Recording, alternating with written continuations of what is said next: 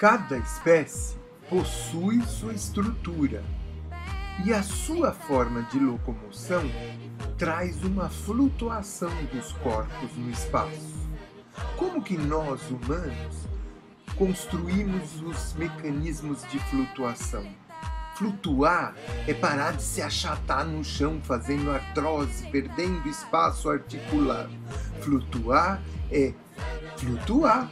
Então vem aprender a trabalhar com ritmo. Não se trata só de fazer músculo. Você tem que flutuar. E o ritmo te ensina essa flutuação.